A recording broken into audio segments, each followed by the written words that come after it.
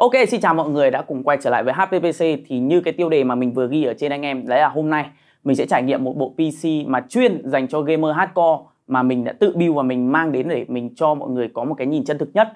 À, Để mà nói về cái bộ PC này đi Thì nó chắc chắn sẽ phục vụ hầu hết tất cả những cái nhu cầu dành cho những anh em gamer Từ những cái trình độ từ bình thường cho tới bán chuyên. Với cái combo là i5 13600KF cũng như là 3060 Ti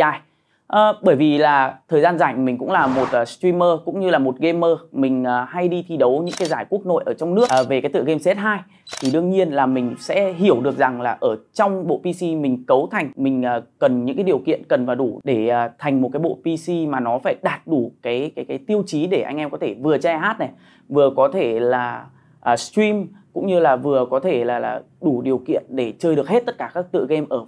phổ biến ở trên à, thế giới hiện giờ. Còn bây giờ thì không dài dòng nữa bắt đầu thôi.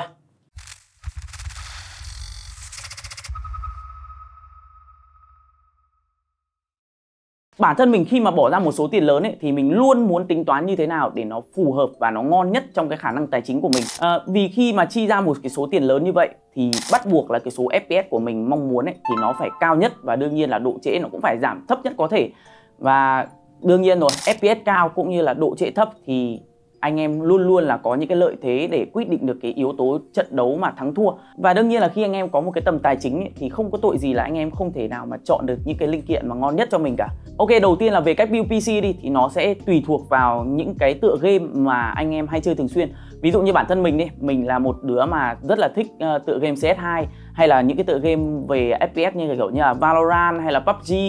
thì mình sẽ thường sẽ tập trung và mình ôn in vào một em CPU à, có xung nhịp lớn và chắc chắn rồi nó phải sở hữu 6 pico trở lên. Và đương nhiên CPU mình chọn ở bộ PC này là một em i5 13600KF vì đa phần các tựa game eSports hay các tựa game FPS hiện giờ sẽ tập trung vào ăn xung của 6 nhân pico trở lên. Hơn nữa em 13600K này có mức xung pico cơ bản là 3.5 GHz turbo boost của nó có thể lên tới 5.1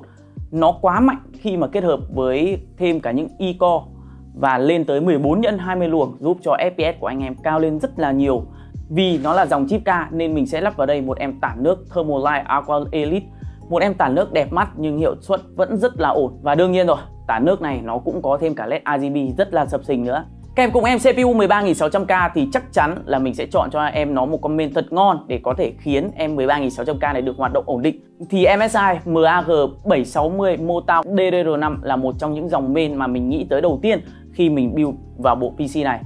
Vì cứ main B để kéo được em chip này thì chắc chắn là mình sẽ nghĩ đến em Mota của nhà MSI Không phải quảng cáo đâu, nhưng mà bây giờ thì mình sẽ chứng minh cho anh em thấy đấy là tại sao con main này nó thực sự là đáng giá như vậy. Đầu tiên là nó có tới 12 VRM để nó có thể cấp điện đầy đủ cho em 13.600k Khe PCIe của nó cũng được bọc thép cực kỳ cứng cáp và đương nhiên là anh em có thể thấy là con main này được trang bị giải pháp tản nhiệt cho linh kiện cực kỳ chi tiết, từ VRM cho tới ổ M2 và đương nhiên rồi, nó support lên tới 4 khe DDR5 nên mình cũng đã lắp sẵn hai thanh 16GB tổng cộng là 32GB dual channel việc sử dụng DDR5 khi mà CPU cần truy cập dữ liệu từ bộ nhớ để xử lý các tác vụ trong game thì đương nhiên là nó có thể cung cấp dữ liệu một cách nhanh chóng hơn, giúp tăng hiệu suất trong các tác vụ yêu cầu bộ nhớ lớn. Đầu tiên là mình sẽ test cho anh em cái chế độ Dashmat ở trong tựa game CS2 FPS vẫn luôn rất ổn định ở khoảng tầm 400 và đây chắc chắn là số FPS mà mình mong muốn ở trong một cái trận đấu trai hát hay là thậm chí một cái trận đấu giải online. Vì những cái tựa game MOBA thì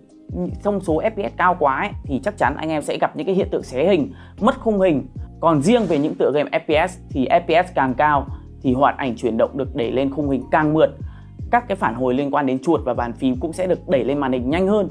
Mình cảm giác rằng là FPS cao thì trải nghiệm những cái tựa game này không gặp bất kỳ những cái sự cố nào liên quan đến giật khung hình cả. Nhất là với những cái thời buổi hiện giờ là mọi người đều chơi hát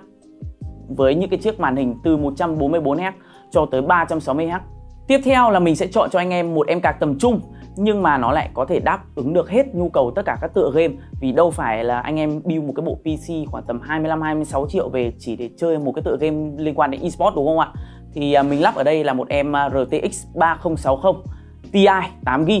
với cái phân khúc giá nằm giữa 4060 này, 4060 Ti hay là 3060 Ti thì nó vẫn luôn là một cái sự lựa chọn hợp lý dành cho những anh em nào có nhu cầu liên quan đến hiệu năng thuần cực kỳ tốt. Bởi vì nó có tới là 4864 lõi CUDA so với cả 3584 lõi CUDA trên mẫu của RTX 3060 mà bây giờ ấy, thì anh em thường là chơi những cái game liên quan đến trending nhiều hơn. Thế nên là mình nghĩ là anh em nên cần một em cạc thật khỏe để có thể mang lại cho mọi người những cái trải nghiệm mượt mà giả dụ như là hiện giờ đang à, trend những cái tựa game ví dụ như là Power này những cái tựa game thế giới mở ví dụ như là GTA 5 Roleplay hay là những cái tựa game mà càng ngày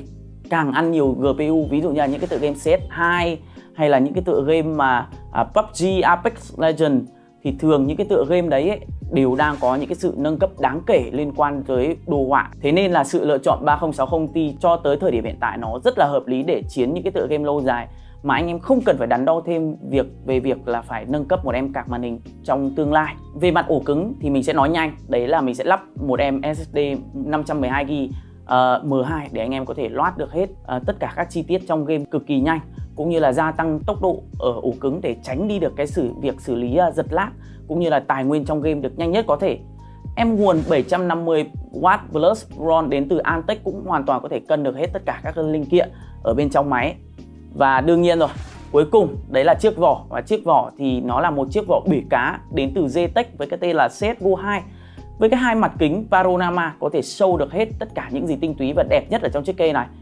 Đặt em này trên bàn thì đương nhiên rồi miễn bàn anh em ạ. Bởi vì là kèm với cả việc là anh em trang bị những cái quạt fan cực kỳ là đẹp mắt cũng như là cái việc mà tản anh em có thêm cả những cái led RGB nữa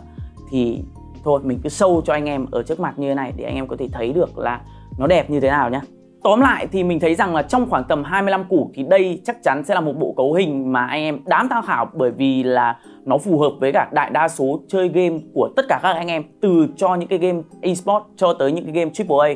Hiệu năng của bộ lại, bộ PC này phải gọi là thực sự quá ấn tượng và chắc chắn là nếu có lương thì mình cũng sẽ múc một bộ về để livestream cũng như là chiến game cho anh em xem.